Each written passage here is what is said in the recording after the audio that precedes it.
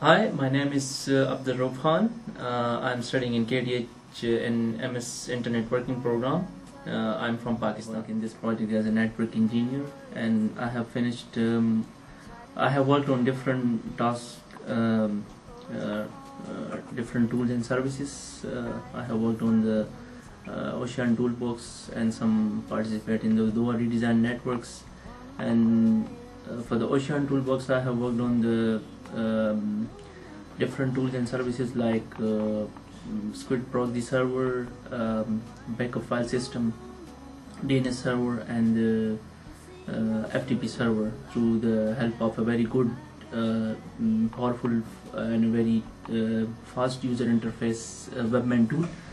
Um, as far as all of my tasks are finished, all of uh, my tasks, uh, I have documented all of my tasks and um, uploaded into the internal deliverable of the project website.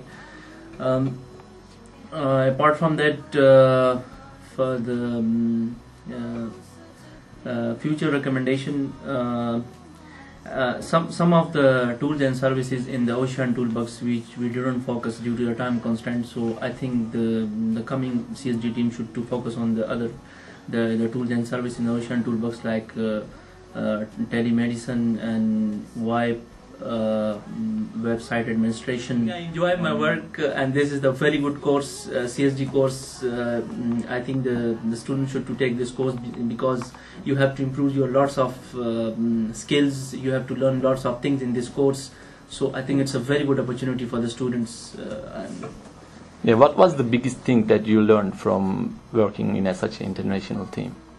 I think the biggest thing is that uh, I have gained experiences from the different s- students, um, and I also share my experiences with the with these students, and lots of technical things, managerial things. Um, so I think I cover all the aspects of uh, uh, uh, different things in this project.